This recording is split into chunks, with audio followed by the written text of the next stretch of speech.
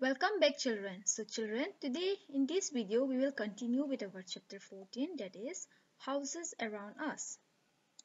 So children, now let's see this. Slums. Slums are a familiar sight in all big cities of India. People from villages move to big cities in search of work. They have very little money and sometimes have to live on the streets or in slums. So children, you can see the picture here these are the slums. So slums it is a familiar sight in all big cities, especially in India. People from small village they will move to big cities in search of work and they have a very little money and sometimes what they do?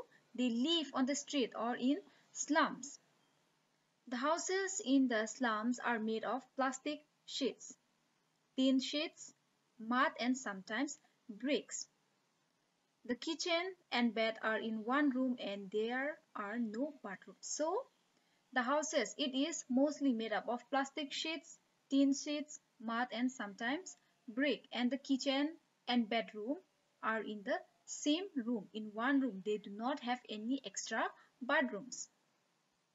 Living conditions in a slum can be very difficult because there is very little space. So living in such slum, it is very difficult because the space there is very small, very less, little.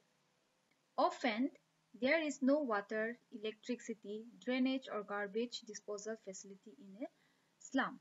So, what happened in slum? There is no facility for water, electricity, drainage or garbage disposal also. So children, now we will try to solve some questions and we will end up this video.